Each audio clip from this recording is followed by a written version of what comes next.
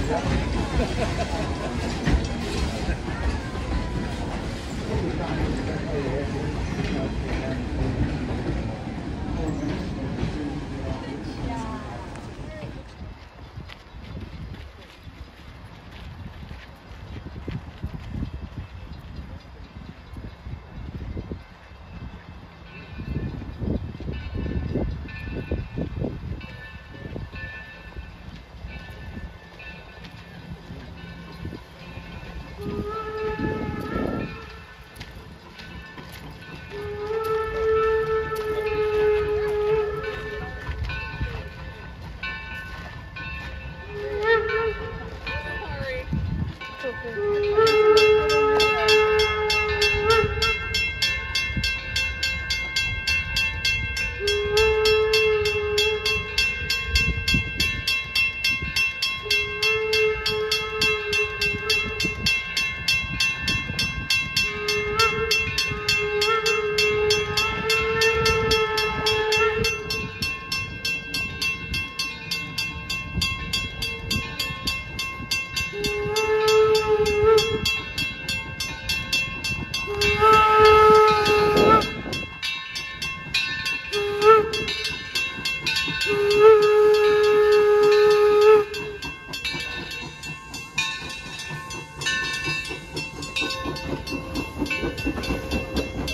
Inside the car. No eating, please. No eating, no smoking. Thank you.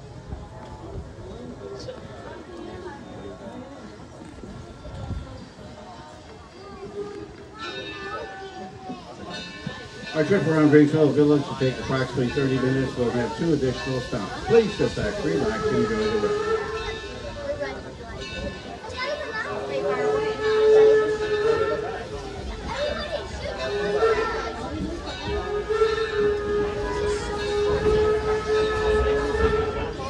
Greenfield Village is divided into historic districts. The Henry Ford Model T district is first on the left.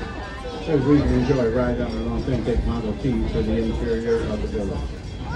This is Henry Ford's birthplace. It's the White Farmhouse, built in 1861.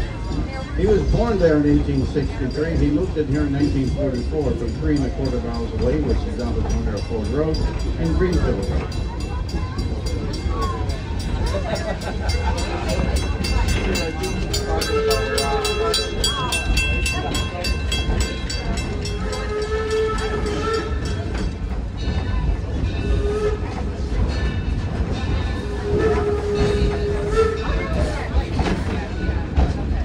Street District is where the Wright Brothers Home and Cycle Shops are. They're authentic buildings coming to us from Dayton, Ohio. Built in the 1870s. Learn about the beginning of aviation. Visit Mrs. Cohen's millinery shop from downtown Detroit, built about 1860. Next to her, the H.J. Heinz Building, built in 1835 in Sharpsburg, Pennsylvania. Sir John Dennis Shop in London, England, England. Behind the Ford Motor Company to the left is the loading dock of the Model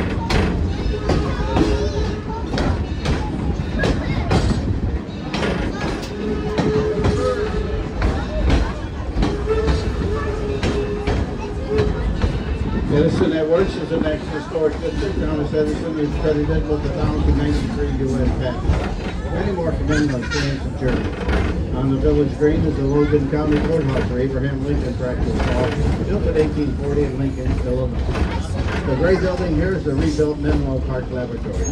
And the gold building we're approaching is Sarah Jordan's boarding house. Many of the men who worked for Edison at the lab lived there. One of the first buildings in the United States wired for electricity. Next to Sarah Jordan is Edison's official Fort Myers, Florida laboratory. And around the corner from him, the Luther Burbank Garden Office, the only building from the west coast of the United States in the village, built in 1906 in Santa Rosa, California.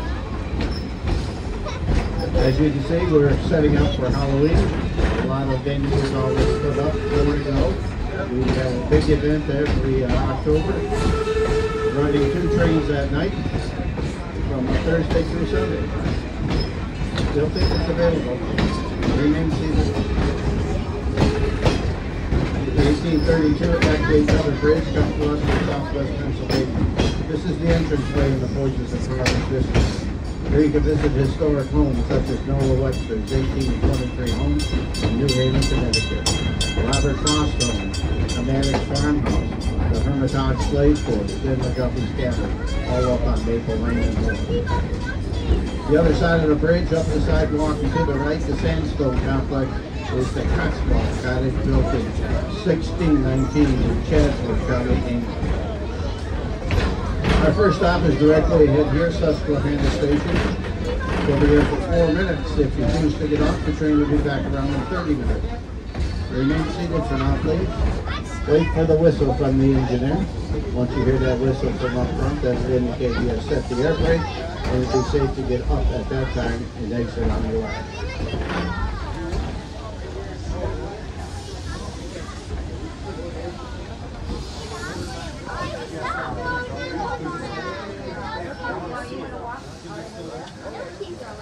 Holding your apple easily in your reach. Remain seated so you don't touch the light side. Keep arms, legs, and head inside Right, the car. yeah, No eating or right. Thank you. Yeah.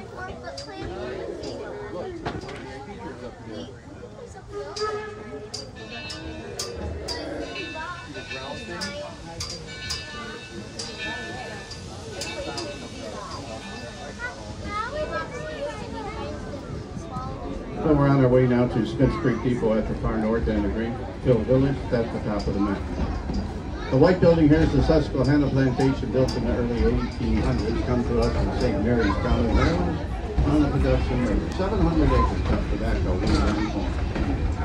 The rust color building is the oldest American-made building in the village, dating to the early 1600s. The Plympton House, where Mr. and Mrs. Plympton raised seven children in that one-room building in South Sudbury, Massachusetts.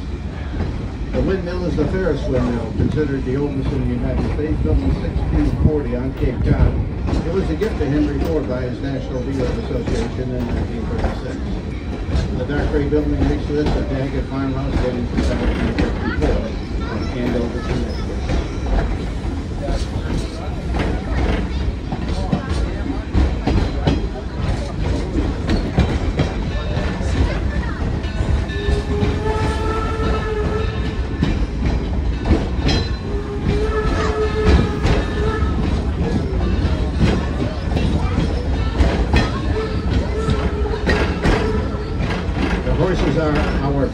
Draft horses, those gentle giants that do a lot of work in Greenfield Village, pulling the carts and wagons and working the farm. They get their legs off the hard surfaces of Greenfield Village, back out onto Arizona for four days in a row relaxing before they're put back into service throughout the village. The historic locomotive pulling us today is the number three Torch Lake, the oldest steam locomotive operating in the United States, built in 1873, 150 years old this year. It originally worked the copper mines of the Upper Peninsula of Michigan, donated to us in 1968. It's the last of its kind. The eight-foot serpentine wall on the right side was built in 1953, separating Greenfield Village from the Ford District, where cars and trucks are tested before production.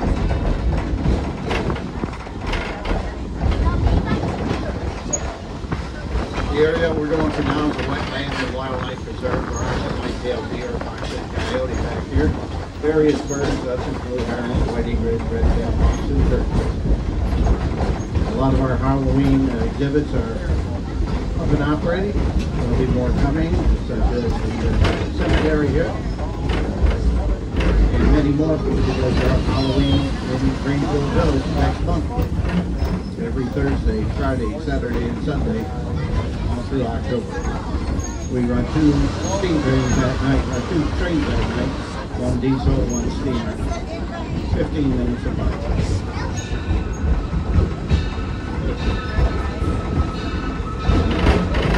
The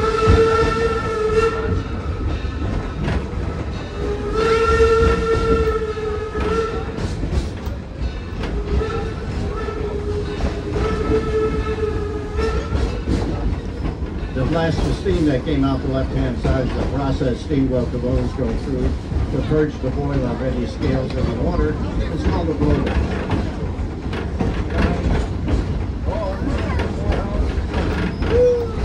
And the Henry Ford is a non-profit independent educational institution, not affiliated with the Ford Motor Company or the Ford Foundation. We're supported by our donors, our members, and our guests.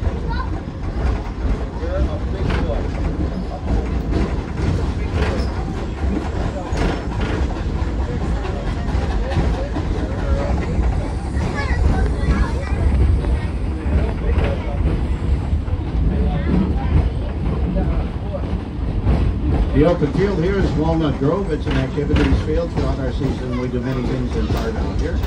Certainly Halloween is part of it. The buildings up on the hill on the back side of some of the porches in Harvest District, the red brick building, Noah Webster. The large complex we're approaching is the Henry Ford Academy. It's a charter high school. Over 525 students attend. They're selected through a lottery system from Wayne County. Graduation rate exceeding 95%. The curriculum focuses on science, technology, engineering, the arts, and. The 10th, 11th, and 12th graders have classrooms out here. The 9th graders classrooms in the indoor museum. When Henry Ford opened Greenfield Village in 1929, he wanted to convey the inspiration of the American genius to the students. With Henry Ford, it was always students first. He could be seen with them in the classrooms and on field trips. We wanted to inspire them through America's traditions of ingenuity, resourcefulness, and innovation, and we continue that here today. There are three Pullman cars on the left we're approaching that are attached in the center. They're part of the senior class classrooms.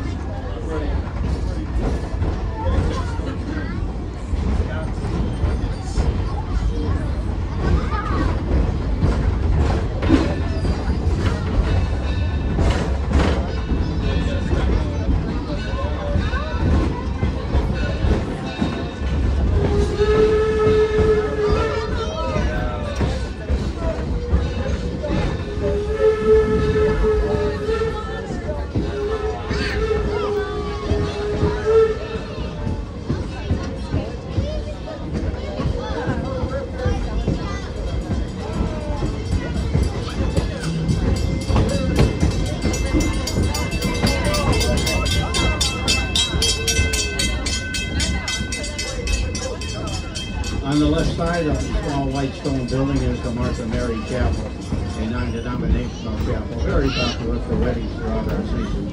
The name comes from Henry Ford's mother-in-law Martha and mother Mary, one of the original buildings here. The green building is the Taste of History. It's a cafeteria-style restaurant. Connected to it a little farther down the white building, the Eagle Tavern, built in 1830 in Clinton, Michigan, about 50 miles away. There's to experience a sit-down meal with people serving We'll be making a slight right turn here and right around the railroad junction, stopping at this Repeat platform. We'll be there for uh, four minutes and then depart with uh, conductor Mike and his conductor. And and the wedding here this evening.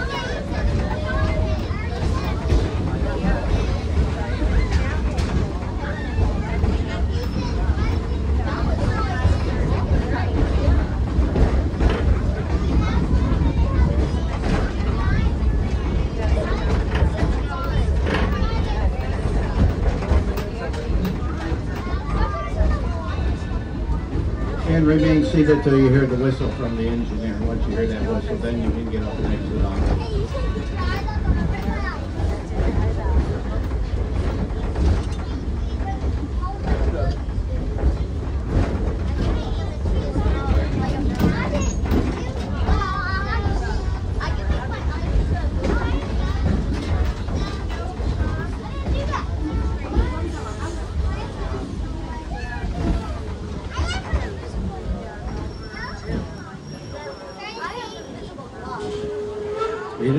Aboard the Greenfield Village Railroad. So again, please stay seated while the train's in motion. Keep those arms and legs and especially your heads inside the rail car at all times.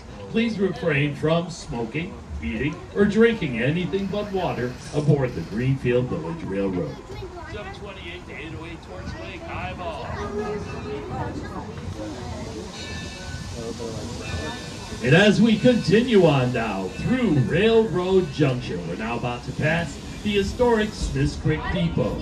Originally built in 1858 in Smiths Creek, Michigan, that's about eight and a half miles southwest of Port Huron.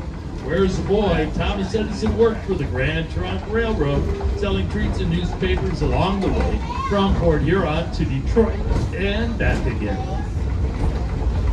And off to your left is the newest addition to Greenfield Village. That's our vegetable building from the, the Detroit Central Market. Built here in Detroit in 1861.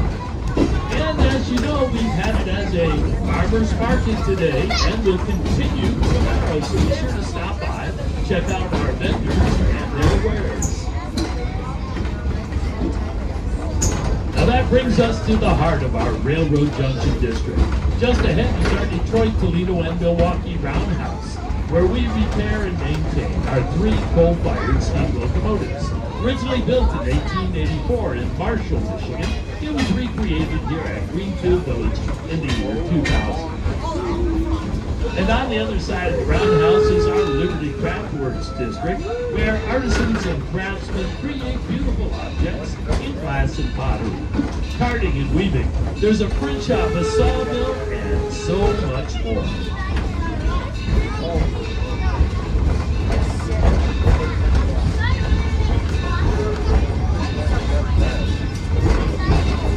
And we're now entering our working farms district, and just beyond red cider mill is the Firestone Farm, the birthplace of Harvey Firestone, Henry Ford's great friend and the founder of Firestone Tire and Rubber Company of Akron, Ohio.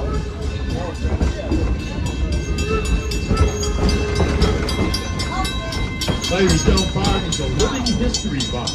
The farmhouse, built in 1828 in Columbia, Kentucky. And be sure to stop by the farm today. If there's any